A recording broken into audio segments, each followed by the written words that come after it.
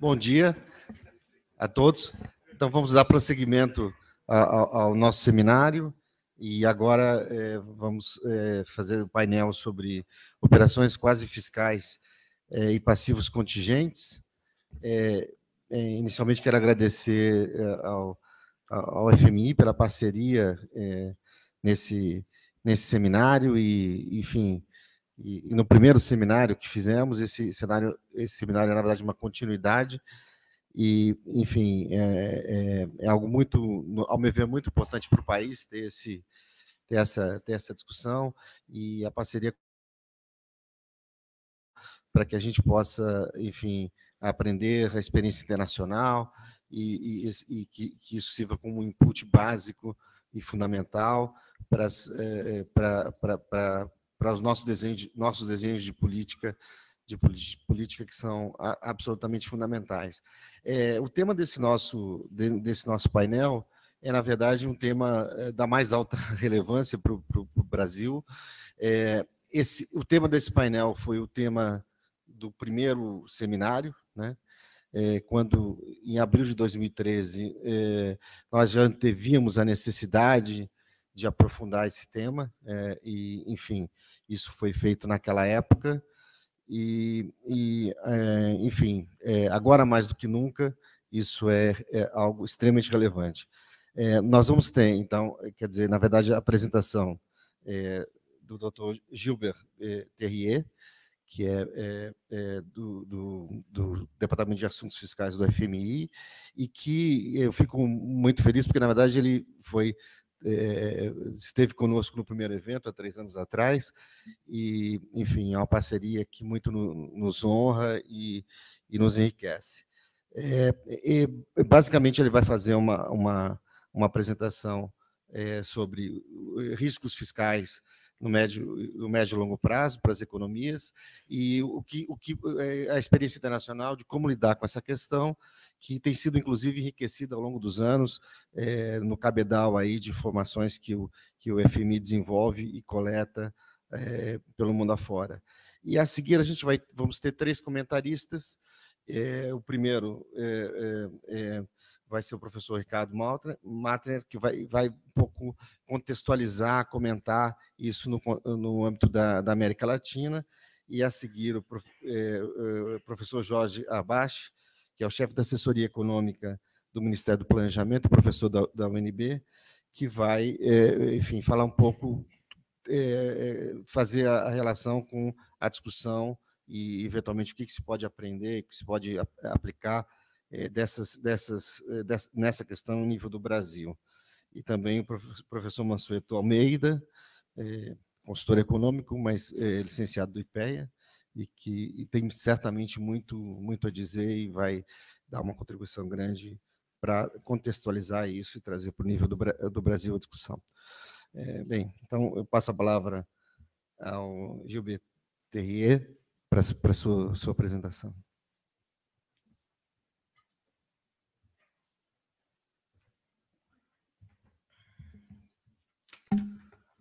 Muito obrigado e buenos dias para todos. Uh, eu gostaria muito de falar, de fazer toda a apresentação em português, mas eu acho que o meu português ainda não é tão bom, então eu vou falar em inglês, porque é muito mais fácil para mim.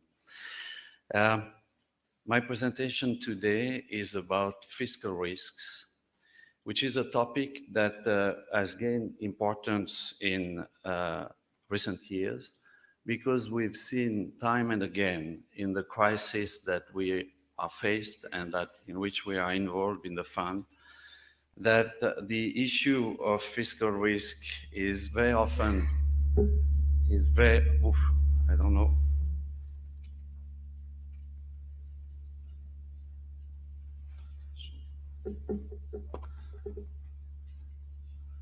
This looks very serious. I don't know what it is but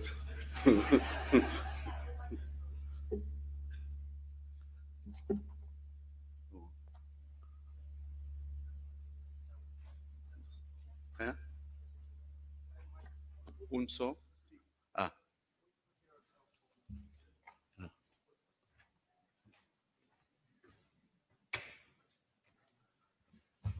Okay, well, I was talking about fiscal risk, but this was a technical risk that materialized. And so what we've seen really at the fund is that in the various crises that we've uh, had to deal with all over the world, is that risks uh, can be very high, fiscal risk can be very high, and uh, very often they are underestimated before the crisis, but also uh, within uh, as the crisis is unfolding. And so um, uh, I would like today to focus on four main issues. The first one has to do with the sources of fiscal risk. Second one, the nature of these risks, because we find out that these risks were very often not very well understood. I will then turn to examples of uh, best practices that have evolved around the world and deal briefly at the end with uh, fiscal management. So the first issue has to do with the main sources of uh, fiscal risk. And for this, I would like to show you this table, which is a table that shows the impact of the uh, 2009 global crisis on a few countries. These are actually the 10 countries that were the most severely affected by the uh, crisis at the time. You see here uh, Iceland, Ireland, Greece, uh, the US, and a number of other countries. And when you look at the bottom of the table, you see that the average increase in the debt in those countries was on the order of 26% of GDP over three years. This is a very large increase. And in the case of Iceland, you see that it was actually close to 68% of GDP. Why? Uh, the table shows the variety of reasons. There were collapse in revenues and increases in deficits. There were also at times unreported deficits from previous years. There were unidentified areas that were recognized during the crisis. There were deficits in the state public enterprise. And there was also the materialization of contingent liabilities, including in the financial sectors. So the experience from that period tells us at least two points. The first is that very important gaps emerged. And the second is that governments usually underestimated their exposure to fiscal risk. And if we look for a minute at the, what we call contingent liabilities, these are the liabilities that are not necessarily on the balance sheet of the, of the government. Uh, I would like just to list them for a minute. They are those liabilities that are associated with the financial sector. When there is a crisis, very often uh, there are problems in banks and uh, uh there is a need to recapitalize some of the banks. This is an important and frequent source of risk. There are also legal uh, cases against the government. There are very often uh, deficits in the state-owned enterprises and subnational governments. There are also risks associated with PPPs. Uh, however, what we found is that those risks usually are not very big, and there may be two reasons. One is that in a lot of countries, the size of PPPs is still fairly small. And also very often when problems arise under the PPPs, there's a tendency to renegotiate the contracts. So the costs are not are there, but they are not immediately visible and quantifiable. And then there is obviously uh, natural disasters that can have a sharp impact on uh, debts. Within the fund, in order to have a better assessment of these uh, contingent risk, uh, contingent liability realizations, We've just completed, just a few weeks ago, a very comprehensive study that looked at all the episodes of contingent liability realization since 1990. So it's a long period of uh, about 25 years, and we've identified 230 episodes. Of these 230 episodes, we could not quantify the cost, the costs for all of them, but we did. We were able to do that for 174 of them. So our sample is fairly robust and fairly broad. And we found out that the, on average, this is at the bottom, the average fiscal cost uh, was around 6% of GDP for the realization of these contingent liabilities. The highest costs are those in, were those in the financial sector, which is the first line, around 10% of GDP. Legal costs were also very high. Very often these legal costs were high in Eastern Europe because after the, uh, the collapse of the Soviet Union, some of the governments uh, took over or froze the domestic deposits and subsequently had to compensate the depositors. There was also the impact of crisis in uh, uh, subnational governments. You see it's around on average in our sample 4% of GDP. State-owned enterprises, 3% of GDP, and you see here that PPPs are fairly small. Another way to present the same data is to go year by year and to uh, present it as a percent of GDP with uh, the highest cases identified. You see a lot of red here. It means that are, this is the impact of crisis in the financial sector. Uh, you see also uh, oranges, which are uh, problems in public enterprises. And the legal fees are in yellow, but again, it's mostly associated with cases in uh, Eastern Europe. A different way to present it is to go and separate uh, uh, the cost in advanced economies and the cost in emerging economies. On the left-hand side are the cost in advanced economies, they are in red. Uh, you see that in this group of countries, the financial sector dominates. It's close to 10% of GDP, about 40 episodes in our samples. On the left-hand side, again, the financial sector has a very significant impact, above 10% of GDP, but there is also the impact of state-owned enterprises and uh, the, the, the, impact of uh, natural disasters. So these are a few facts that uh, I wanted to present to you, how strong and how large the impact on these contingent liabilities can be on the uh, public sector accounts and on the public debt.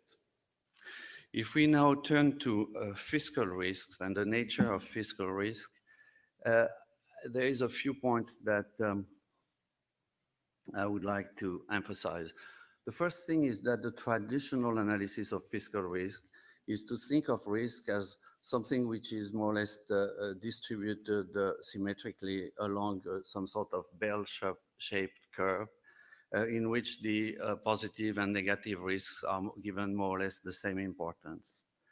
What we see is that the reality is actually quite different, and I would think on three grounds. The first one is that clearly uh, fiscal risks tend to be asymmetric and tilted toward the downside.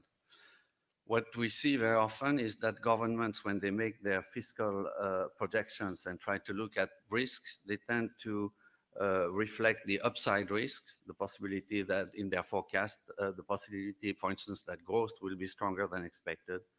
But they tend to also to downplay very systematically potential downside risk, and very often they don't include contingent liabilities. The second finding, which I think is really very critical, is that fiscal risks are not independent, but they are actually correlated. So that uh, uh, when we looked just a few minutes ago at the cost of contingent liability, contingent liabi liability realization for this group of 10 countries, we, uh, we saw that uh, for the group of 174 countries, sorry, we saw that the average cost was 6% of GDP, but at the same time, the increase in public debt was actually 15% of GDP. So rather than independent, it's very clear that these, all these risks are highly correlated. And the final point is, uh, which is linked to the first two, is that the cost of fiscal risk realization uh, can be highly nonlinear and disruptive. And so uh, because of this, larger macroeconomic shocks tend to have to be much more damaging uh, to the public finance than a series of smaller shocks. And to illustrate that, I would like to go back for a second to the data that I was presenting before, which is this data on the contingent liability episodes from 1990 to 2014. You see that here, uh, you see clearly the 2008-2009 crisis, the peak. Uh, you see the importance of the contingent liabilities in the financial sector, meaning the need to recapitalize the banking system. You see the legal costs. You see also in green the state-owned enterprises. And basically, when uh, risk materialize, they tend to all materialize at the same time. And there's an English saying that says, when it rains, it pours. And that's very much what we can say about fiscal risk. When some of them materialize, the others also have a tendency uh, to materialize. So what does this tells us for the uh, situation today in the world? Carlos has just told us that we are now in an environment where economic growth is low, inflation is low, and debts are, are now uh, very high. And so clearly there is less space to accommodate the risk than there was before. And the fact that uh, global growth has uh, slowed uh, also has been accompanied with some deterioration in the balance sheet of the governments, but also of corporates in some countries. And therefore, it is very important to pay attention to risk. And what we know also from the international experience is that those risks can go sometimes a long time before they are noticed, identified, and properly incorporated in the, in the thinking of the uh, governments and the population. And in that respect, we all remember the housing bubbles in Spain and in, in the US. For a long time, they were seen as, ju as just events until they materialized, and the costs to the government were not very well anticipated. Now, uh, as a third development in my presentation, I would like to turn to best practices of risk assessment. And on that reason, we were fortunate enough in the Fiscal Affairs Department of the Fund to have recently a seminar on international best practices uh, in this area. So we invited practitioners from various parts of the world to explain their approaches and discuss uh, what they were uh, doing. And some of them are clearly more advanced than some others. Uh, also within the Fiscal Affairs Department of the Fund, we've developed some, uh, we've been collecting data on fiscal risk reporting by government. I would like to stop here for a minute to look at these four big categories of risk, macroeconomic risk, long-term sustainability risk analysis, which is, has to do uh, with demographic and aging factors, but not only, contingent liabilities, and uh, finally assets and liabilities, which is another way to look at the uh, accounts of the government. On uh, macro uh, risk analysis, a few points there. we see that on the top-hand chart, uh, most advanced economies now discuss risks in their budget documents. About 60% of them undertake some quantitative macro risk uh, analysis. Uh, but for the time being, we don't see that this is uh, uh, well uh, widespread in emerging economies. Second, with respect to long-term sustainability and the risk associated with aging and other long-term trends, here again, a lot of advanced economies uh, undertake comprehensive assessment of their long-term position. We also see that quite a, a, an important share of emerging markets, which are in red, do the same. Uh, but when we turn to uh, uh other risks than demographic risk, we see that emerging markets are not very good at assessing and quantifying them for the time being. On contingent liabilities, which is at the, the first one at the bottom, we see now that the majority of advanced countries provide some discussion of risk, and it's pretty much similar in the emerging countries. But uh, very few countries, either in emerging or in advanced economies, publish quantified statements of risk. Finally, uh, going beyond the traditional budget presentation and trying to look at the assets and liabilities of the government, we clearly some seen some progress in recent years, uh, but few countries report comprehensive balance sheet information for the time being, one third in the advanced economies and one tenth uh, among emerging countries. So if we go back for a minute to the macroeconomic risk analysis, I've selected here a few, uh, a few uh, cases of uh, uh, best practices or advanced practices in terms of sensitivity analysis. You see that, for instance, here the Philippines looks at the impact of various uh, variables, GDP growth or interest rates or exchange rate on the overall balance and try to assess ex ante the impact that it would have. Uh, another case is Ireland, where uh, Ireland tries to estimate the impact of various GDP growth scenario on the outcome for the budget. Some countries go a little bit further and develop alternative macroeconomic uh, scenarios. This is the case, for instance, for New Zealand at the bottom, uh, which develops scenarios about around the impact of commodity price on several uh, fiscal aggregates.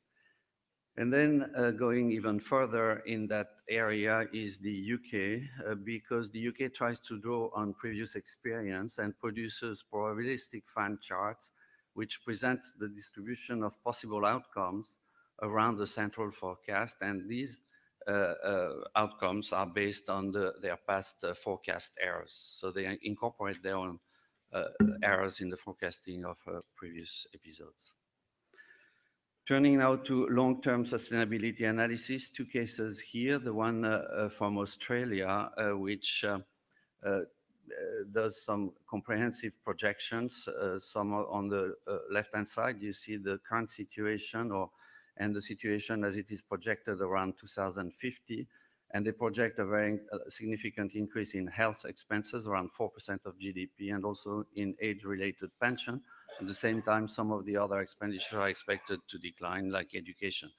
This is helpful because these kind of projections help uh, convince policymakers that at times changes are important in the in the uh, policy setup and beyond the policymakers, hopefully, uh, the general population. Here, uh, on the right-hand side, a long-term spending projection by the U.K., which is published, and it shows that over time, the primary balance is going to deteriorate quite significantly from a positive 2% to a negative uh, 2% over the long-term horizon, and this is primarily taking into account the age-related spending. In terms of contingent liabilities now, um, the U.K. Uh, uh, produces a list uh, of contingent liabilities that can be identified. This is the list which is published at the top. For those that cannot be quantified, it just, for instance, the legal claims against the government, it generally produces the maximum amount that has been presented. So at least to provide some transparency for these potential problems. There is a special issue about risk coming from the uh, financial sector, uh, because uh, very often countries want to be very cautious in reporting those risks because they don't want to fuel a perception that they would naturally stand behind the institutions that are in trouble. There's also a moral hazard risk because to say that Uh, during a crisis, to say that uh, uh, to estimate or quantify the risk in the financial sector could have adverse effects. So what Finland has been doing here is to look at the on a bank-by-bank basis, look at the loans and deposits and present them to the general public. I think the analysis behind this presentation is to say, well, if loans are significantly above uh, deposit, it means that part of them are financed through wholesale funding and other sources, and therefore it's a source of funding which is less stable than the deposit base, and therefore there is more of an element of risks. Uh, but for the financial sector, I think certainly a very good idea when uh, in times of economic crisis is to conduct credible stress tests of the banking and the financial sector in order to inform the population, uh, and sometimes try to channel the perceptions of risk in order to avoid that people ignore those risks or people think that the risks are too excessive. Uh, a few words now about the uh, assets and liabilities. Some countries have started producing comprehensive balance sheet of the public sector. For instance, the U.K. here, Uh, which provides an assessment of net liabilities of the entire public sector, including public enterprises. You see over time a deterioration which is associated with the uh, deficits, but also with the liabilities and the liabilities in the pension sector. There is also an interesting experience in New Zealand about uh, balance sheet, Uh, uh, which is still a work in progress, but was presented at this seminar in FAD. Uh, this this is a presentation that includes on the top part the main features of a public sector balance sheet, but it tries to go further and add a valuation of contingent liabilities for contingent liabilities and also for the net present value of future revenue and expenses. And so you see that in the middle of the Uh, chart, the accounting net worth, which is the current position of the government, is positive, 82. But When you incorporate all the uh, uh, risks that are associated and the commitment of expenses for the future, the balance turn into negative territory, and that's the figure at the bottom of the page. Finally, there is also more and more interest in the concept of fiscal stress testing. Uh, one country that has uh, done that on a number of occasions is the Netherlands. They've actually conducted two stress tests in 2011 and 2014.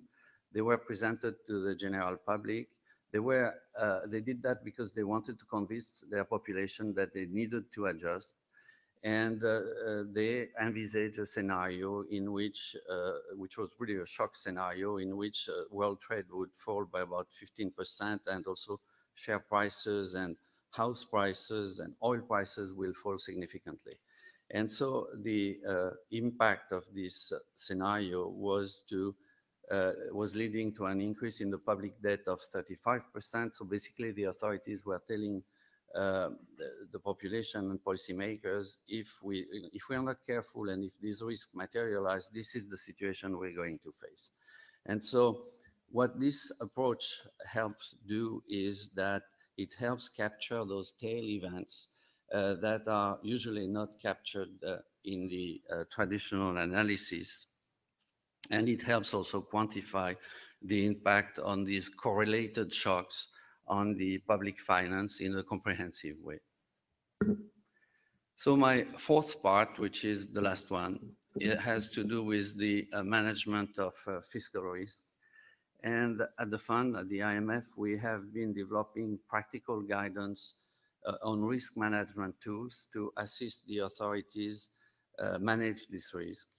And we see four steps in this process. The first one is the one we've just discussed, which is to identify the risk, to estimate their magnitude as much as possible, and the likelihood that they would materialize. And uh, for that purpose, we usually uh, suggest to countries that they uh, try to organize the risk according to the uh, probabilities of materialization, low, medium, and high, which is already an important first step. Then there are step two additional steps, step two and three, where uh, we identify the, the actions that the government can take to reduce the probability of realization of this risk and reduce the exposure. Reduce the probability, for instance, by limiting the size and the amount of guarantees that they extend, limit the activities of the public ent entities, regulate markets, and reducing the uh, exposure can be uh, through, uh, for instance, market instruments. Some countries, as you know, uh, hedge uh, their future revenues, commodity revenues by through hedging instruments. Now, once we've done all that, identify the risk, reduce the probability of realization, and try to reduce the exposure, there are still obviously some remaining risks. And for them, it is important to have fiscal space to absorb the exposure. And this fiscal space can be in the form of buffer funds or uh, some additional uh, budget provisioning. One, uh, uh, uh, one aspect that we've also been emphasizing in our dealing with the authorities is that in terms of risk management, is that very often risks are managed by different entities within the government and within agencies. And therefore, it is important to, to bring all these assessments uh, on and all this information on risk together. And this can be done through the establishment of a special unit or the establishment of a high committee on risk within the government to bring all this information together this will also help the government have a clear view of the risk and help also identify the systemic relations between the risks. Fiscal risk management is also very uh, rapidly becoming a key component of public financial management. In uh, recent years, the fund has updated the Fiscal Transparency Code. This has been a very comprehensive effort with a lot of countries involved in providing feedback and one of the four pillars of the transparency code is on fiscal risk analysis and management. So that tells you how important this is. And the fund has also developed a new tool, which is the fiscal transparency evaluation. I will just say a few words about this new uh, tool, present a few uh, cases uh, of countries that have uh, undertaken a fiscal transparency evaluation. So far, uh, 15 countries have Uh, undergone a fiscal transparency evaluation. This involves countries uh, as diverse as Ireland, Russia, Turkey, and and the Philippines. If you uh, if we start with the top uh, left-hand side, this shows an East African country where the coverage of the public sector is too narrow. So the feedback we gave them was to make sure that the the coverage of the public sector was broad enough and incorporate public enterprises, which were not treated very well. The second chart tells you the situation in uh, Portugal, where we identified the issue of contingent liabilities as not being covered in uh, official documents. Uh, the fund assessed the size of these contingent liabilities at about 120% of GDP, so very large. And so we thought it, and the authorities agreed that it was important to present this information to the public. Russia, uh, in Russia, there was the fact that the uh, liabilities of the largest public enterprises were not sufficiently reported, or in some cases, not reported at all. And They have agreed here to present the liabilities of the biggest uh, uh, corporates uh, in the country. You see Gazprom as the biggest one. Finally, in the Philippines, we had identified the subnational liabilities were not given much prominence, which overall was not so much of an issue because their size was not very large as a percent of GDP. But in some municipalities, the debt was very high, with some of them having debt level in excess of 200% of their revenue. So we thought it was also something that was important in terms of comprehensiveness and transparency. So It is now time for a few conclusions. I have uh, selected from this presentation four conclusions that I would like to bring to you. The first one is that um, the uh, crisis episodes, including the 2009 crisis, have reminded us that the government, the risk to the government balance sheets are varied, they are large, and very importantly, they are correlated. They tend to materialize all at the same time. And uh, again, when it rains, it pours, all the risks tend to materialize, and the impact on public debt can be very big. The second point that I would highlight is that policymakers need to have a more complete understanding of the potential threats to their fiscal position.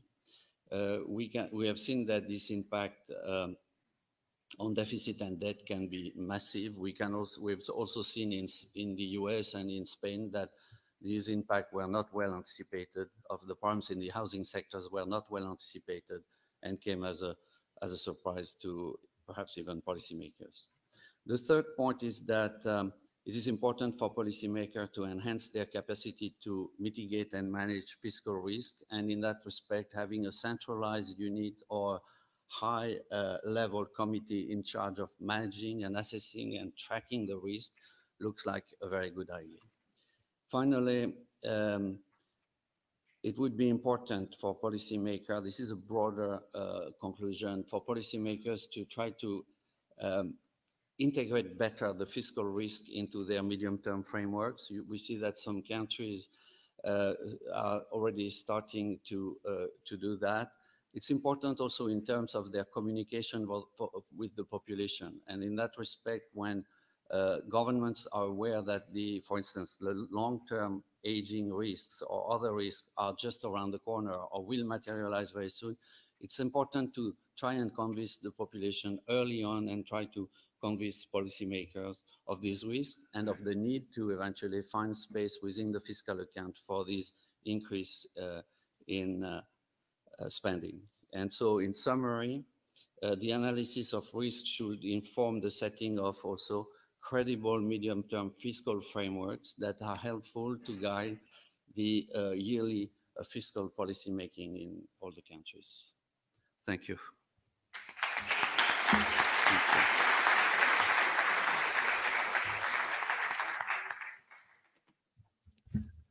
Muito obrigado, Gilbert. Vamos passar então à parte dos comentaristas, que vão ter 10 minutos cada para que a gente possa talvez ter algumas perguntas ao final para serem respondidas, se houver perguntas da audiência. Passaria ao Ricardo Matra, da CEPAL, do Fiscal Affairs Unit, para fazer comentários em relação à América Latina, como a América Latina lida ou lidará com essas, com essas questões tão relevantes. Obrigado. Eh, tengo una presentación. Eh, buenas, tardes, buenas tardes. Voy a hablar en español para cambiar de idioma un poco. Eh, vine hace 30 años ya a Río a alguna reunión sobre Fiscal Affairs, pero desde entonces no he logrado aprender eh, portugués. Sí comprendo, pero todavía no me atrevo a hablar, así que voy a hablar en español. ¿sí? Eh, pero voy a hablar divagar. Eso voy a, por lo menos, a ver si el moderador me, me comprende en mi, en mi lentitud. Espero eh, que a traducción para inglés también funcione en español. Bueno, eh, pero sí tengo el PowerPoint en, eh, eh, en, inglés porque quisiera tal vez tenerlo para, la, para el sitio web, digamos que haya un antecedente. Yo no sé si está el, el control. Y quisiera comenzar agradeciendo la invitación, por supuesto, a la Fundación, al FMI, somos partners desde hace muchos años, desde la CEPAL, y, en tal sentido, para mí es un, orgullo y un honor estar aquí compartiendo con ustedes, comentando un trabajo que, que, bueno, que no voy a poder comentar mucho porque es, es un años y años de trabajo de mucha gente que están involucrados en esto de los códigos de fiscal transparency, de, los, eh, eh, pasivos contingentes, en fin, un trabajo que viene desarrollándose en el fondo hace por lo menos, no sé, desde, desde que yo leo aquello, 20 años, y por tanto eh, es algo que, que, bueno, no puedo más que felicitar al fondo por esta continuidad en el trabajo que busca algo muy relevante, que es tratar de evaluar los riesgos fiscales.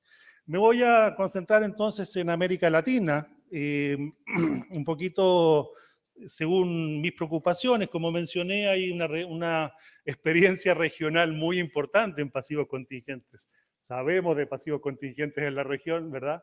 Eh, todos aquellos que, mencionó Gilbert, eh, en algunos, en uno u otro país o en una u otra situación, han sido revelados, materializados en América Latina. Eh, tenemos, por supuesto, los temas cambiarios que han sido muy importantes, monetarios, los, temas del sistema financiero, que fueron la gran, eh, eh, el gran peso de la crisis de la deuda de los años 80, desastres naturales ni hablemos. Bueno, tenemos una lista que es infinita eh, respecto de nuestros propios pasivos contingentes de la región.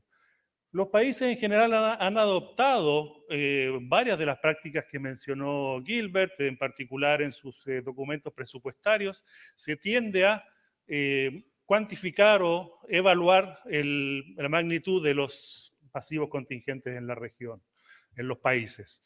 Esa cuantificación, eh, hay un detalle en el apéndice de este comentario, se hace como menciono en muchos de los países de la región, pero que como siempre tienen problemas, porque cuando tenemos una visión relativamente estrecha de los pasivos contingentes, llegamos a que, bueno, no es para tanto, no es para preocuparse, es un puntito de PIB por acá, un puntito por allá, entonces no tengamos mayores dificultades en, en, simplemente publicarlo. La verdad es que me, gusta mucho la, la, la, aproximación que hace Gilbert, mucho más amplia de riesgos fiscales, ¿sí? que no es solo un tema de aquello que es contingente, sino de cosas que son ciertas y de cosas que están pasando y que van a pasar en el futuro. Y en ese sentido, creo que eh, aquello que, menciona Gilbert de When it rains, it pours, o podríamos traducir, no sé, una desgracia nunca viene sola, tal vez en nuestra, en nuestra región, eh, que también conocemos muy bien aquella situación, eh, estamos en un momento de esos, de aquellos, eh, y entonces, eh, de alguna manera, creo que es un mensaje muy importante. O sea, todo esto se amplifica, todo esto se agrega, todo esto es como un terremoto en que todo se mueve al mismo tiempo, algunas cosas se caen, otras no, pero nada queda realmente eh, como era antes. Entonces, es interesante o es importante, más que interesante, evaluar los riesgos macroeconómicos que está, que está en este momento enfrentando la región. Tiene que ver con lo que se mencionó, el tema de eh, reducción del precio de las commodities, la tremenda y significativa, eh, digamos así, filtración de ingresos fiscales que, mostró Carlos en su, en, su, en su presentación. Tiene que ver con depreciaciones cambiarias que también impactan fuertemente la dinámica de la deuda y tiene que ver con la ausencia de crecimiento en la región. Yo diría que tal vez lo más importante, y es lo que voy a centrar mi comentario, mi corto comentario, es en el tema de la dinámica de la deuda que está reflejando, bueno, varios de los problemas o varias de las desgracias que tenemos en la región, que son la reducción del PIB potencial, en muchos de ellos el aumento, eh, digamos, eh, importante, explosivo en algunos casos de la deuda y, por tanto, eh, la disminución del espacio fiscal en la región. Cuando uno ve en perspectiva el tema de la deuda en América Latina, ah, pero en el tiempo era mucho peor. En aquellos tiempos, en los 90, había una gran distancia entre lo que era la deuda pública del gobierno central y la deuda pública del sector eh, público no financiero, es decir, aquella deuda de gobiernos subnacionales y aquella deuda de empresas públicas era un tema relevante, importante, significativo en la región en aquel entonces cuando uno ve que el ajuste de los 2.000 de alguna forma redujo deuda en términos de volumen, pero también de alguna forma redujo ese gap, esa brecha entre eh, em, gobierno central y empresas públicas y gobiernos subnacionales, es decir, dos de los principales eh, elementos o aspectos que tienden a generar pasivos contingentes, o más que contingentes, pasivos ciertos. Eh, de manera que uno puede ver, digamos, claro, hay un aumento de la deuda, todavía bastante menor que en los años 90, pero un tren bastante claro de aumento de la deuda en la región. Y ese aumento de la deuda se da muchas veces por este diferencial. O sea, si bien en la región se puede ver que ha disminuido ese diferencial, en algunos países ha aumentado fuertemente. ¿Qué quiere decir esto? Que básicamente la dinámica de endeudamiento de empresas públicas en particular ha sido muy significativa en la región. No tengo aquí los datos de Brasil, pero no, me cabe duda de que no son muy diferentes. En Chile, en México, en Costa Rica, Colombia, Uruguay, son países que han tenido una dinámica de eh, fuerte crecimiento en el ámbito del endeudamiento de empresas públicas, que no se ve entonces en el gobierno central, que no se ve tanto en las metas de, déficit o las metas fiscales, si se alcanzan o no se alcanzan, sino que se está comenzando a ver a nivel de, la, diferenciación entre el sector público no financiero y, gobierno central. ¿Se entiende? De alguna manera uno quisiera eh, que la cobertura de las metas fiscales fuera lo más amplia posible. Eso ocurrió en los, en los 90, luego de alguna manera se han ido relajando esas metas y las empresas públicas han de alguna forma no sé cómo decir, filtrado un poquito este, este, este, este, este condicionamiento o este, eh, esta disciplina en, en, el ámbito de reglas. De manera que si hay algún contingente cierto en este momento son, es la dinámica de endeudamiento o la dinámica de inversión de las empresas públicas. Tenemos en la región eh, el pago de intereses eh, que, ha, que, ha, subido, que, que, nuevamente comienza a ser relevante en muchos países en Brasil, ¿para qué decir? Estamos hablando ahí de intereses nominales, eh, pero en la, mayoría de la región ya comienza a ser un tema, ¿no? el, aumento del pago de intereses. Nosotros hacemos este ejercicio de descomposición de la deuda, como, como lo hacen muchos eh, otros organismos, nosotros lo hacemos para los, países de América Latina, y vemos que hay un, un efecto bola de nieve que comienza a ocurrir en varios de los países de la región. Es decir, de alguna manera Eh, este deterioro del crecimiento, este aumento del costo de la deuda está impactando en una dinámica perversa de la deuda. Y ese efecto bola de nieve es, un bueno, caso particular y un caso muy relevante es el, de Brasil. Interesante el Fiscal Monitor que, se presentó, se hacen eh, proyecciones de deuda hasta el año 2021 para los países, para todo el mundo yo me tomé el tiempo y,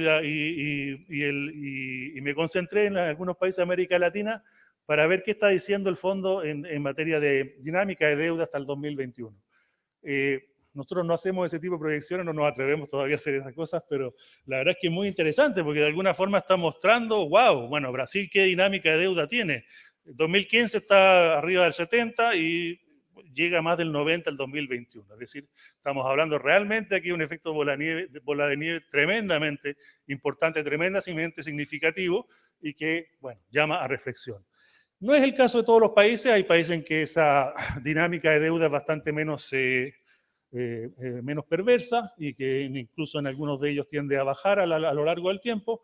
Como bien mencionó Carlos, las situaciones son muy diversas y no hay una sola dinámica ni de crecimiento ni de eh, ni de situación fiscal en la región.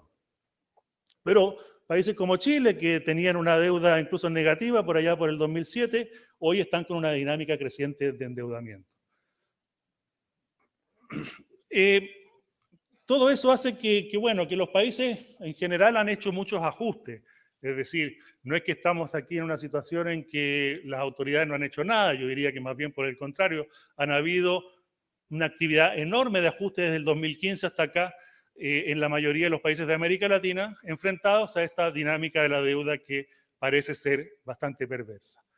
Eh, es importante en ese contexto llamar la atención sobre la importancia de los, famosos multiplicadores fiscales. Y nosotros tenemos un estudio reciente que muestra que esos multiplicadores fiscales son bastante elevados en la región, lo cual lleva a decir que durante las recesiones o durante las desaceleraciones, el efecto de la, política fiscal puede ser muy importante. Se, se, ha mencionado el impacto sobre el crecimiento de los ajustes fiscales es relevante y no es menor en América Latina. Y creo que lo estamos sufriendo en la mayoría de los países. Por eso que decimos que las políticas procíclicas son tremendamente dañinas para la región. Han sido históricamente tremendamente dañinas para la región. ¿Quiere decir eso que tenemos que hacer políticas contracíclicas a rajatabla? Ciertamente no. De alguna manera esta dinámica de la deuda nos está mostrando que hay que atajar ese problema. ¿Cómo se ataja ese problema? Bueno, con mucha paciencia y sin duda en un camino largo.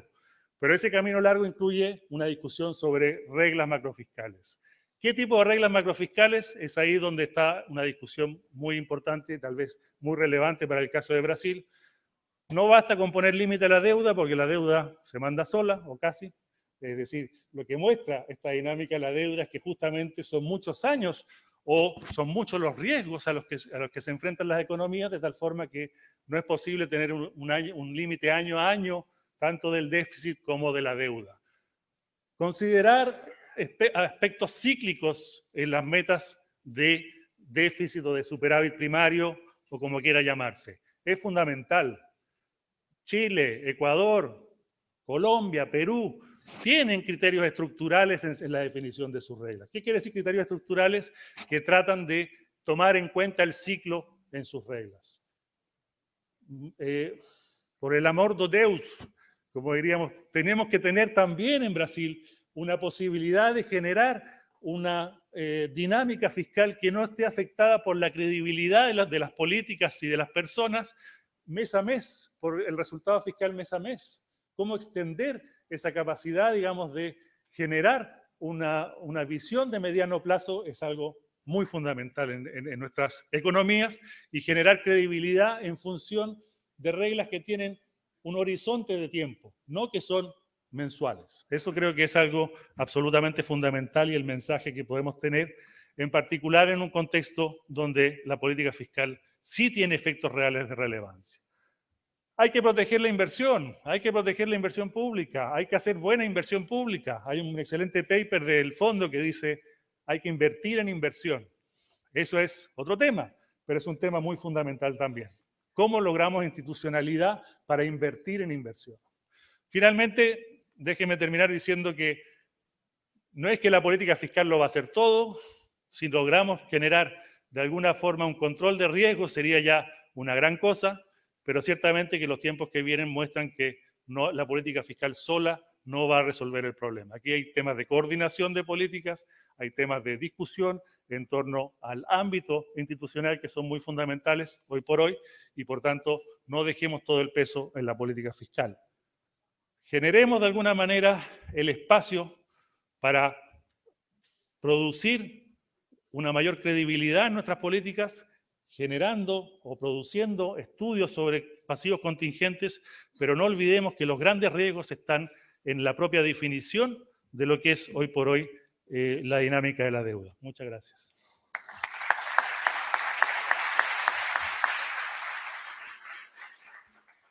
Obrigado, Ricardo.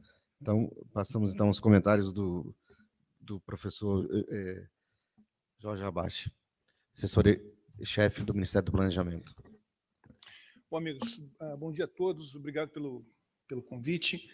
Uh, eu vou inicialmente fazer alguns breves comentários à apresentação uh, do, do, Gilbert, depois eu vou falar um pouco sobre o caso do Brasil e o que, que a gente fez especificamente é, acerca do, do, do, do anexo de riscos fiscais da LDO de 2017 e é, vou falar um pouco também de, de áreas que a gente deveria prestar um pouco mais de atenção, já que elas têm potencial de, de, de riscos fiscais é, não é, negligenciáveis. Um, um, primeiro ponto é, é, é, esse aí. Como, com a, com a crescente interdependência entre as economias e com o potencial de crescimento de riscos fiscais, sejam em países em desenvolvimento emergentes, mas também em países é, é, avançados, é possível que, no limite, esses países avançados e outros países possam exportar os seus riscos fiscais a, para, para, outros países através de vários canais de transmissão, como, por exemplo, taxa de juros, é, taxa de câmbio e outros canais importantes.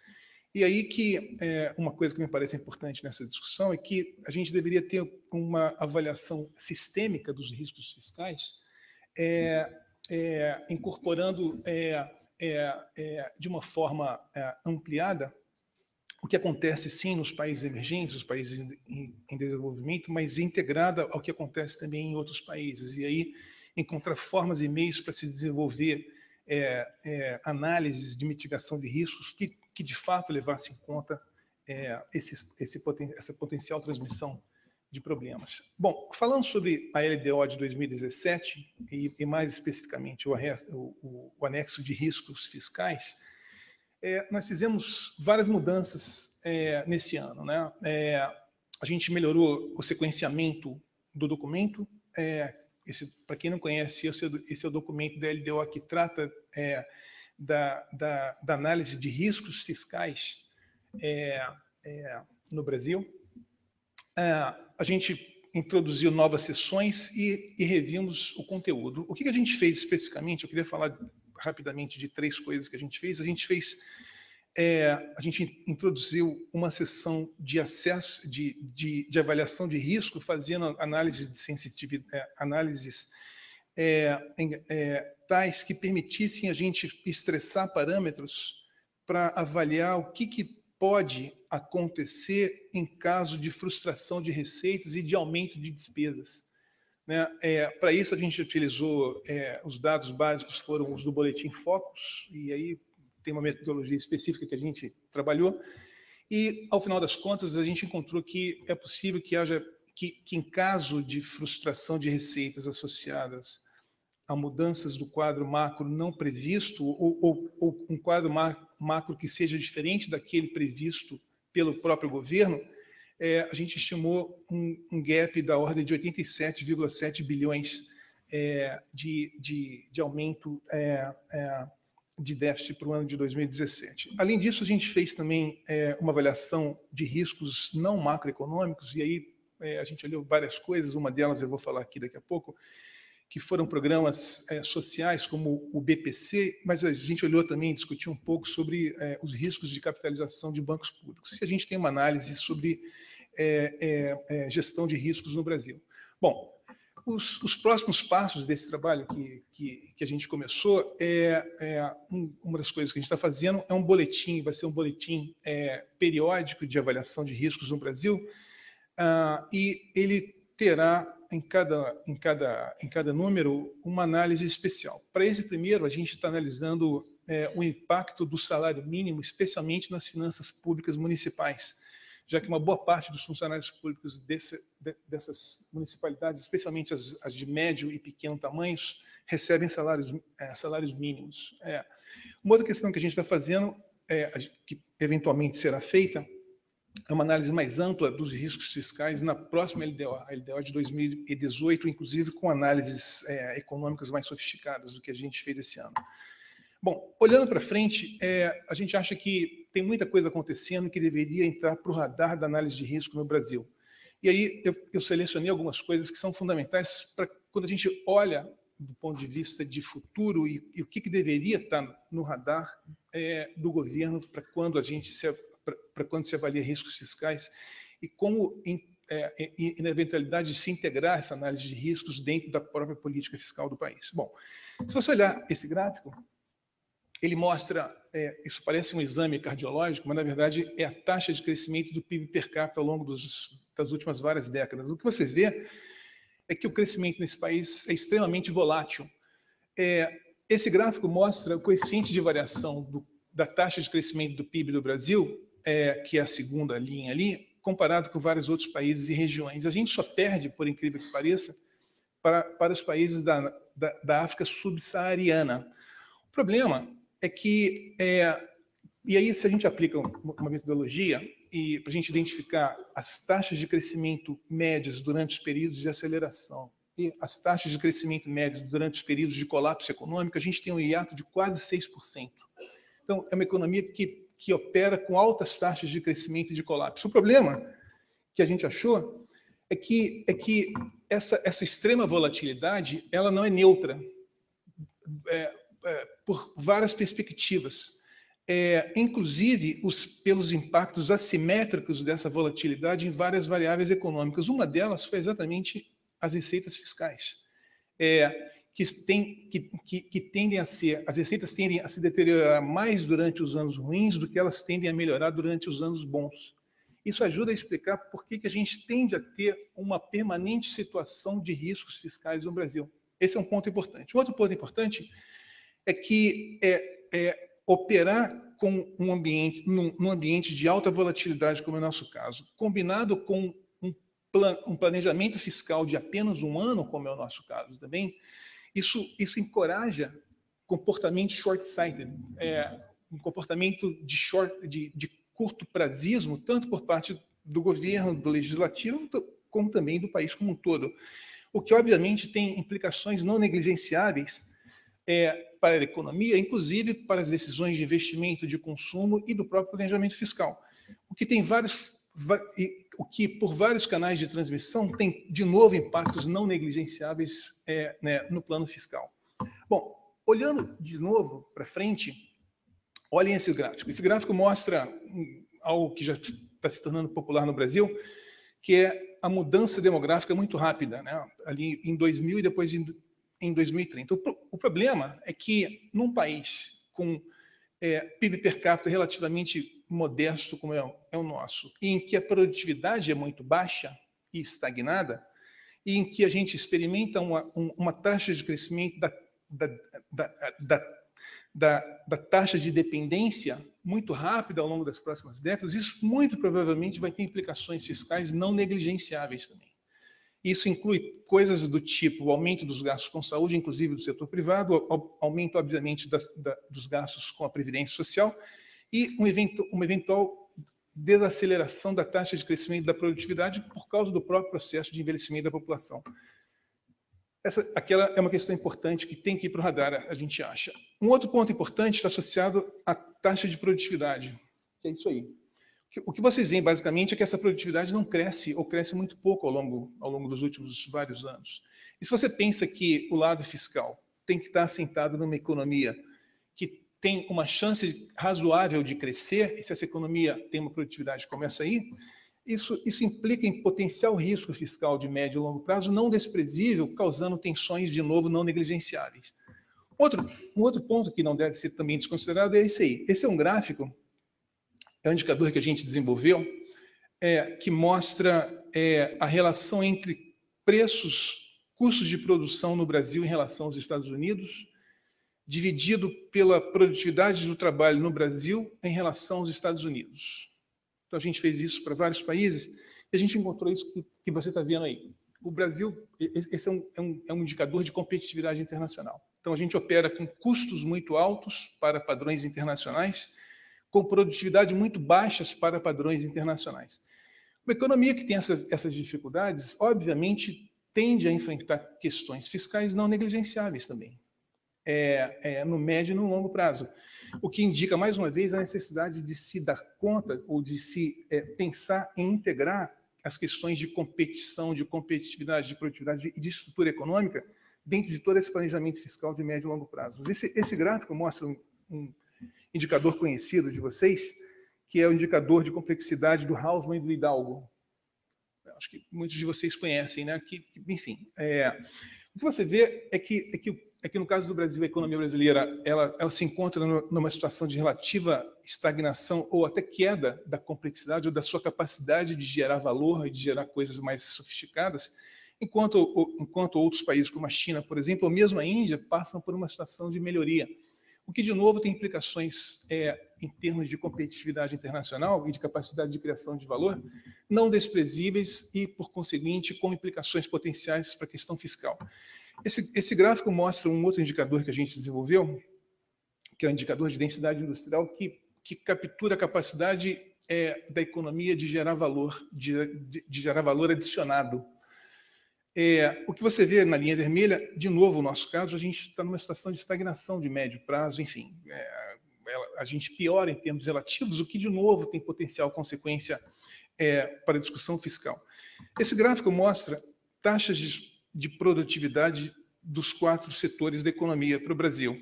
O que você vê na linha vermelha é a taxa de produtividade do setor de serviços. Por que é importante discutir isso aí? Porque esse setor tem mais de 70% do PIB. E se esse setor tão grande tem uma produtividade tão estagnada, ela há de criar implicações para outros setores da economia e para a economia como um todo, por conseguinte, com implicações é, para o potencial de crescimento dessa economia, o que leva a, a potenciais impactos é, na economia e também na área fiscal. É, é, uma economia que opera com taxas baixas de poupança como a nossa, em que o setor de commodities é tão importante como, por exemplo, se você olhar o perfil das empresas listadas na Bolsa, ou é, quem são as nossas maiores empresas, e se você vê a participação das commodities e semi-manufaturados nas exportações, você há de de, de, concordar que essa economia tem uma exposição a choques exógenos não desprezível, o que, de novo, tem implicações para o plano fiscal também não desprezíveis.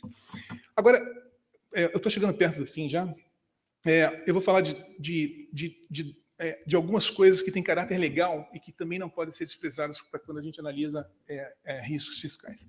Esse gráfico mostra os exercícios que a gente fez, esse, essa tabela, para o BPC. O BPC é um, é um benefício chamado benefício de prestação continuada. Não sei se todos vocês conhecem, mas é um benefício previsto na Constituição, etc., que, que pessoas com 65 anos ou mais que têm renda per capita familiar de até um, de um quarto de salário mínimo e que não pagaram previdência social têm direito a receber esse benefício na forma de um salário mínimo por mês.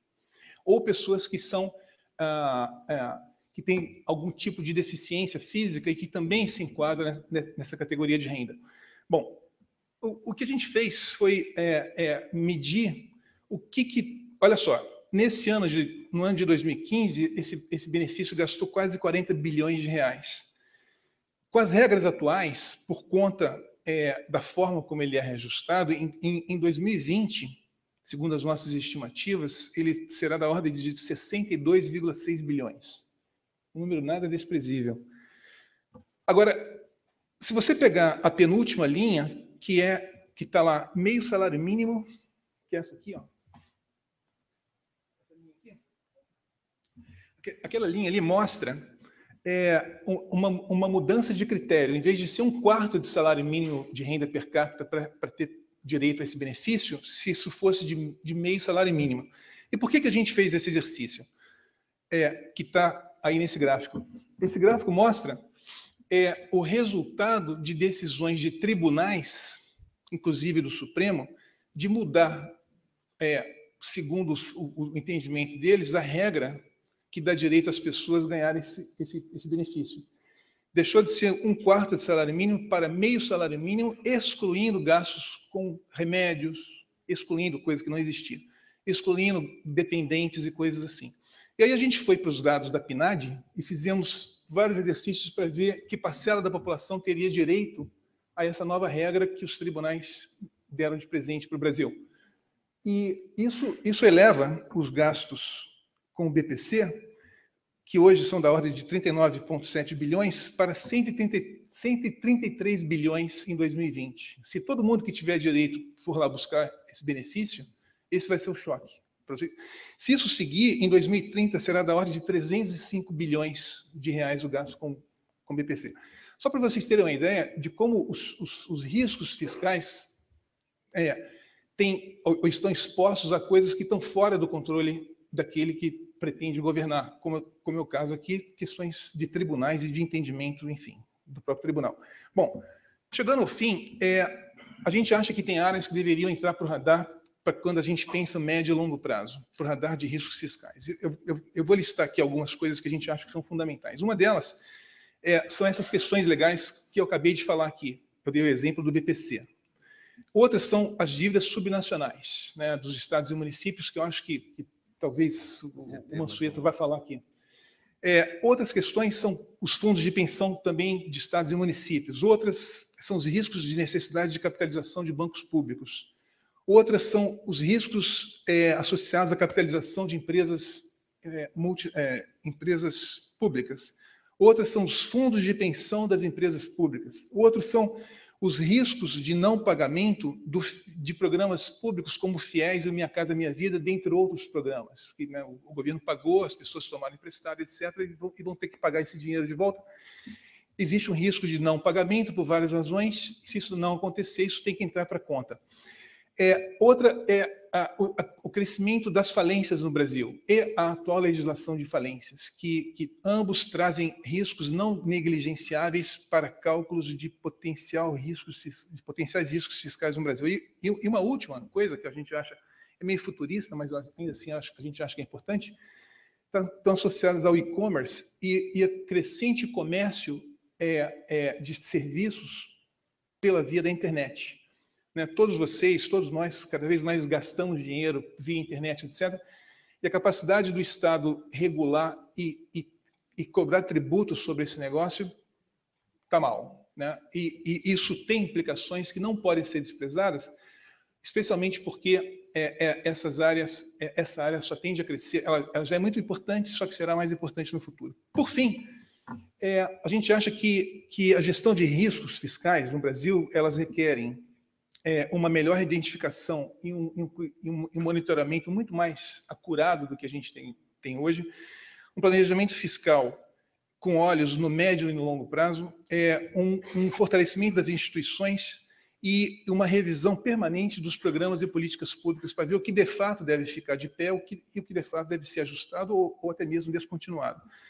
É, a gente acha que é fundamental integrar é, os riscos, as análises de riscos fiscais dentro das políticas fiscais e, por fim, numa economia com tanta volatilidade como a nossa e com todas as consequências que isso tem, é, a, a, nós nos parece fundamental trabalhar para que não, que não que a economia necessariamente tenha que crescer a taxas maiores, mas que ela cresça a taxas mais sustentadas, que vai ter implicações não negligenciáveis de novo para, para as questões fiscais. Obrigado.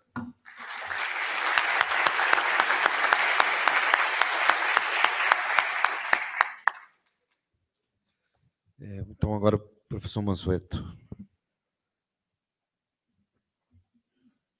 É, bom dia. É, quero pedir desculpa por não estar de terno. É a primeira vez que eu venho na FGV sem terno, está todo mundo de terno. Uh, vou falar rapidamente, enfim, o, o, o, todas as, as, é, as, exposições foram muito interessantes. Uh, e eu vou destacar, no nosso caso do Brasil, dentro do, da questão do painel, que foi bem colocado aqui, é, essa questão do risco, uh, e no caso específico brasileiro, principalmente em relação a estatais financeiras e não financeiras. O primeiro ponto, quando a gente olha para o orçamento público no Brasil, seja dos governos subnacionais ou do governo federal, grande parte do que a gente do orçamento público está direcionado para funções tipicamente sociais. A gente está falando de um país que o gasto público total no ano passado foi em torno, o gasto público total do setor público foi em torno de 43% do PIB, mas esse gasto de 43% do PIB inclui o gasto financeiro e não financeiro de todo o setor público, ele é mais ou menos previsível. A, a, dinâmica do gasto público do Brasil, do gasto não financeiro, ele é extremamente bem, ele é extremamente previsível. É por isso que, quando no início do, deste ano o governo falou que queria gerar um superávit primário de 24 bilhões de reais, o governo central, todo mundo sabia que isso não seria possível, porque isso só seria possível de acordo com o que foi aprovado na lei orçamentária anual, se houvesse um crescimento da receita nominal do governo central de perto de 171 bilhões de reais, que é um crescimento nominal de uns 18%, que dá um crescimento real de 10% de uma economia em recessão. Claro que isso não seria possível. Depois, quando o governo falou, mandou para o Congresso uma proposta de lei alterando a meta, falando o seguinte: se houver frustração de receita, se houver, se eu fosse 10 anos mais novos, ah, claro que vai haver frustração de receita. Não, é, não tem como uma economia em recessão, arrecadação real, crescer 10%. Mas, dito isso, muito do que está aí em desequilíbrio é culpa, ah, ou se tiver algum culpado, é culpa nossa, é culpa de regras no gasto público que a gente colocou, a gente fala que não gosta, mas a gente adora e todo dia a gente torna essas regras um pouco piores. Por exemplo, Hoje no Brasil, você tem vários políticos falando que é necessário reduzir a vinculação do orçamento, despesas vinculadas à receita. O que de fato nós estamos fazendo no Congresso, o que de fato nós estamos fazendo é aumentando a vinculação. Apesar do no discurso a gente falar que é necessário reduzir, o que a gente está fazendo no Congresso é aumentar a vinculação. Um exemplo específico, o gasto com saúde. Hoje, pela legislação federal, o governo federal este ano tem que gastar 13% da sua receita corrente líquida com saúde e ao longo dos próximos cinco anos esse percentual tem que aumentar para 15%. Foi aprovado no Congresso há um mês atrás uma nova proposta de vinculação para o gasto com saúde do governo federal que eleva esse gasto mínimo para 19,4% da receita corrente líquida do governo central nos próximos sete anos. Como é que os políticos falam que tem que reduzir as vinculações, e como é que, há um mês atrás, a gente aprovou em primeiro turno, tinham 403 deputados na Câmara, 402 votaram a favor de aumentar a vinculação para gasto com saúde. Então, tem claramente uma distorção, uma diferença entre o que se fala e o que se faz. Mas todo o gasto público do Brasil tem muito pouco risco. Ele é muito, ele é fácil de prever porque ele está sujeito às regras de indexação, a regra de vinculação em relação à receita, é mais ou menos fácil de prever. O gasto social, é, que é o que mais cresce no Brasil, não nesse governo, mas desde 91, quando a gente olha de 91 até 2015, você consegue explicar mais ou menos 75% do crescimento da despesa primária do governo central, olhando só para as contas de transferência de renda, inclusive previdência, ah, isso está sujeito a regras e é bem previsível. O que não é previsível no Brasil, e o que a gente fez e que foi errado, foi o uso das estatais financeiras e não financeiras. Primeiro ponto, gasto social, embora seja grande parte do orçamento, se eu pego só despesa de custeio, se eu pego o orçamento do governo central e divido em três grandes áreas, pessoal, custeio e investimento. Ah, se eu olho só o que a gente chama de custeio, mais ou menos 75% do que a gente chama de despesa de custeio, 75%, 80%, está ligado a cinco funções tipicamente sociais: educação, saúde, assistência social, que é Bolsa Família e LOAS, benefício do salário mínimo para pessoas idosas e famílias pobres e deficientes, previdência, seguro-desemprego e abono salarial. As cinco funções tipicamente sociais respondem por quase 80% do custeio é muito difícil qualquer governo controlar isso, porque essas cinco funções estão sujeitas a regras, mas normalmente não tem nenhuma surpresa, é previsível. Só que um Estado que gasta tanto com social, por natureza, ele não tem como ser muito ativo em política setorial. E aí vem o nosso problema, que aumentou o risco fiscal e que bate bastante com os pontos que a mesa levantou. Qual foi o nosso grande erro? A partir de 2007, primeiro, Tesouro emprestar para bancos públicos é normal, sempre aconteceu no Brasil, não é anormal. O problema é que, em 2007, o Tesouro Brasileiro emprestava para o banco público, para os bancos públicos, 14 bilhões de reais, o equivalente a meio ponto do PIB. Isso aumentou, no final de 2014, para uma quantia pequena de 550 bilhões de reais, 10% do PIB. No espaço de sete anos, você aumentou a dívida em 10 pontos do PIB, 9,5 pontos do PIB, para emprestar para bancos públicos, empréstimos longos, que ocasionavam dois custos. Um, o custo de escasamento dos juros. Se o juros subisse, essa conta, a conta de juros do setor público, iria disparar. Dois, um custo enorme de subsídio, que a gente chama de equalização de juros. Quando o Tesouro emprestava para o banco público, para o BNDES, pedia para o BNDES emprestar esse dinheiro, o mínimo que o BNDES pode emprestar é TJLP mais 1, 1,5% ao ano. Isso há quatro anos atrás era 6% ao ano. O Tesouro pedia para o BNDES emprestar, eu quero que você empreste isso, para as empresas comprarem caminhões novos, cobrando um juro nominal de 2,5% ao ano. Infelizmente, eu não comprei meu caminhão.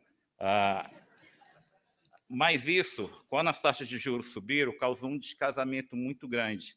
A conta de equalização de juros, que é uma despesa primária, que compete com recursos para transporte, para saúde, para educação, a conta de equalização de juros, há quatro anos atrás, era uma conta de 10 bi por ano. Nesse ano, será uma conta de 32 bi. Então, você gerou um passivo enorme em decorrência do forte uso que se fez dos bancos públicos para dar subsídios. Adicionalmente, uh, você criou toda uma relação complicada entre bancos públicos eh, e empresas estatais não financeiras, como, por exemplo, Petrobras e Eletrobras. Eh, até 2006, a Petrobras ela não tinha dívida com bancos públicos. A Petrobras, que é uma das melhores companhias da América Latina, era uma das mais inovadoras, essa companhia, em 2006, ela não tinha dívida junto a bancos públicos. Ela era credora, ela aplicava em bancos públicos, como o Banco do Brasil. Essa companhia hoje ela tem uma dívida de 90 bilhões com bancos públicos, que todo dia o mercado levanta se essa dívida será ou não transformada em participação dos bancos públicos na Petrobras. Simultaneamente, eh, em 2008 e 2009, o governo mudou a legislação falando o seguinte, que os bancos públicos, no caso específico do BNDES, para o setor de petróleo e gás, o setor de energia e mineração, ele não iria observar os critérios de exposição de risco da Basileia. Os critérios de exposição de risco da Basileia fala que um banco não pode emprestar mais do que 25% do seu patrimônio de referência para um mesmo grupo empresarial. Em 2008, a gente mudou a regra e falou o seguinte, essa regra não vale para o setor de mineração, não vale para o setor de energia e não vale para o setor de petróleo e gás. O que é que significa? Significa que quando o BNDES emprestava para a BR Distribuidora e para a Petrobras é, Exploração, ele considerava duas empresas totalmente independentes, sem nenhum relacionamento uma com a outra. Por mudanças de regras, a gente permitiu uma superexposição do BNDES a empresas estatais. Simultaneamente, em 2009 e 2010, a gente fez uma capitalização que foi uma das maiores da história do capitalismo na Petrobras, e o governo, como essa capitalização que o governo fez não foi acompanhado pelo setor privado na sua totalidade, aumentou a participação do governo na Petrobras. E a gente inventou outra lei falando o seguinte, que o excesso de participação que o governo tiver nas suas estatais, ele pode, pode pegar aquele excesso e transferir para qualquer outra estatal. O que é que o governo fez? O governo pegou parte do excesso de participação que ele ficou na Petrobras, pegou e usou para capitalizar bancos públicos, Caixa Econômica e BNDES. A gente criou um intricado de relação entre estatais financeiras e não financeiras, que o resultado disso hoje a gente não sabe. Se a gente olha a Caixa Econômica Federal, uma aposta do mercado, se você pega 100 analistas de mercado, 99 aposta que nos próximos anos será necessária uma capitalização da Caixa Econômica.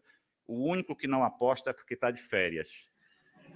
Ah, e por que é, todo mundo tem esse é, olha com tanto ah, com tanta suspeita para a Caixa Econômica Federal? Primeiro, assim, todas essas instituições têm pessoas muito competentes, equipe técnicas muito competentes, mas, novamente, é o que se esperou e o uso que se fez disso. A Caixa Econômica Federal, nos últimos quatro anos, que foram anos que você teve queda de PIB e queda de renda no último ano, ela duplicou a sua participação no mercado de crédito comercial. Era 6%, passou para 12%.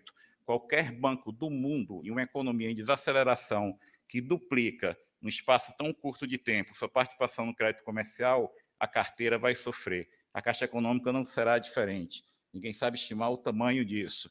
Adicionalmente, a gente teve saques na poupança nos últimos anos que diminuiu a fonte de recurso para a Caixa Econômica fazer financiamento imobiliário. Foi que a Caixa Econômica fez? Ela lançou um título que se chama Letra de Crédito Imobiliário para pagar recursos para emprestar para financiamento habitacional. Só que isso, há três anos atrás, era 10% do que a Caixa emprestava para financiamento habitacional. Hoje é 30%. Financiamento habitacional são empréstimos de 15, 20 anos, com juros pré-fixados. LCI é um título de curto prazo com juros de mercado. Só isso, só esse aumento enorme do passivo da Caixa ligado a juros de curto prazo para emprestar no longo prazo, isso deve ter ocasionado um descasamento entre operações ativa e passiva que deve ter tirado pelo menos um bilhão de reais de lucro da Caixa daqui para frente. Adicionalmente, existe uma poupança no Brasil que, que eu não tenho, porque eu não tenho carteira de trabalho assinada, que se chama FGTS, que é a melhor coisa para um governo.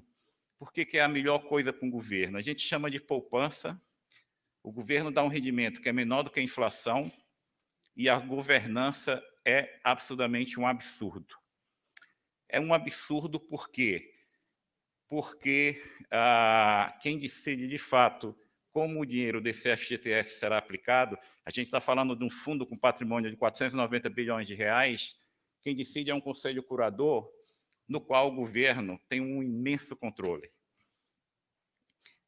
O FGTS, alguns anos atrás, ele resolveu emprestar para infraestrutura emprestar para infraestrutura de duas formas, como acionista de grandes projetos do governo, e ele escolheu projetos muito bons, como de uma empresa que chama Sete Brasil, ah, e também tanto como participação como empréstimo.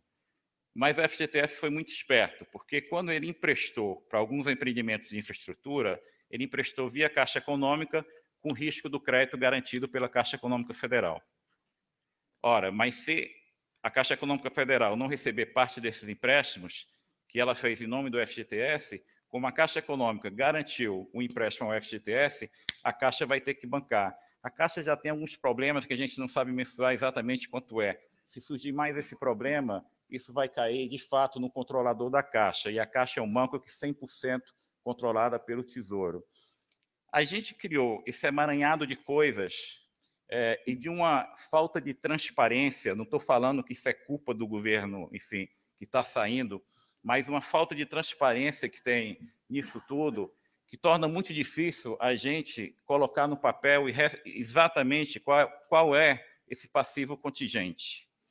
E a gente sabe que ele pode ser muito grande, porque, além disso, a gente criou outros passivos decorrente novamente de mudanças que foram aprovadas propostas pelo governo aprovada pelo Congresso. O novo marco regulatório do setor elétrico, aprovado em 2012, que levou, no primeiro momento, uma redução de 20% na energia e depois de quatro anos, um aumento de 50%, ah, esse marco regulatório levou a uns subsídios dado pelo Tesouro que chegou a ser 9 bilhões de reais em 2014. Criou um passivo que agora será incorporado ao longo do tempo na conta de energia. Diminuiu diminuiu drasticamente a capacidade de investimento da Eletrobras. O que se fez com a Petrobras, também você levou um buraco na Petrobras, que outra grande aposta do mercado é que será necessário uma capitalização da Petrobras. O mercado se divide, alguns acham que será de 100 bi, outros de 200 bi. Se ocorrer uma capitalização da Petrobras, dívida do Tesouro emitido para capitalizar a Petrobras, porque a gente não tem dinheiro sobrando.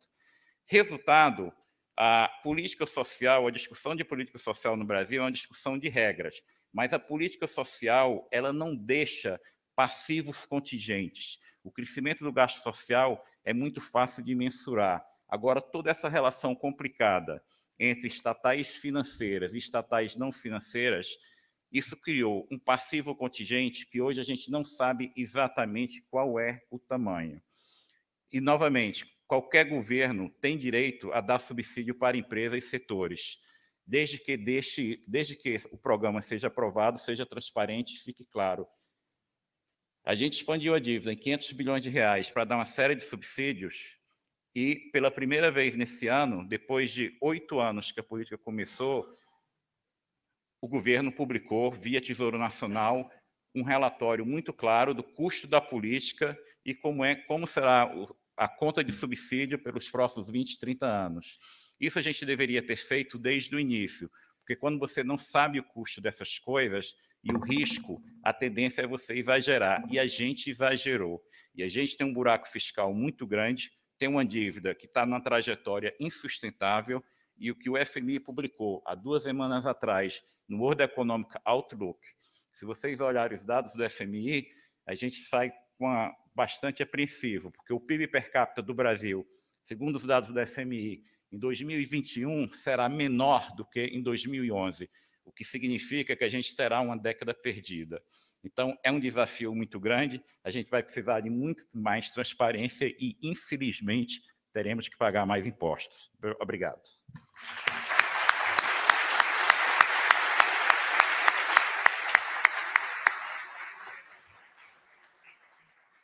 Obrigado, Mansueto. É, bem, agora eu acho que a gente tem talvez mais é, alguns poucos minutos para. É, é ok.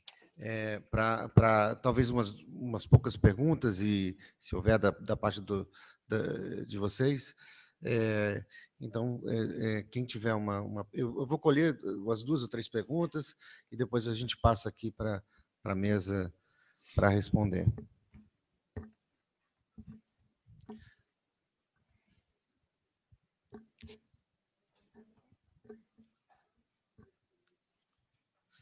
Bem, é, não, havendo, não havendo perguntas, pelo menos por enquanto, isso nos ajuda um pouco com, o tempo também, né, nesse, nesse, momento. Eu queria, quer dizer, é, queria agradecer a, a apresentação, a apresentação de todos, eu acho que, que, quer dizer, esse painel foi particularmente rico, né?